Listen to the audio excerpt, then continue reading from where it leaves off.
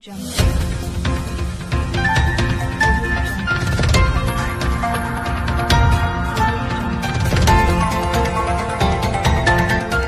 देख रहे हैं R P K P India news नमस्कार मैं doctor Mohan Mungeria R P K P India news में आप सभी का स्वागत है। आइए चलते हैं शहर की कुछ खास खबरों की ओर। एक मास्क अनेक ज़िंदगी। जन जागरूकता रथ को कलेक्टर ने दिखाई हरी झंडी।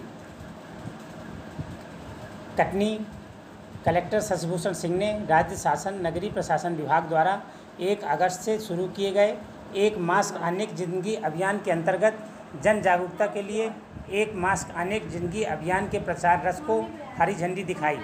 इस मौके पर नगर निगम के कार्यपालन यंत्री राकेश शर्मा सहित नगर निगम के वरिष्ठ अधिकारी भी उपस्थित रहे। रिपोर्ट मतीन खान एवं Rajesh Kumar Tiwari R P K P India news, Katni.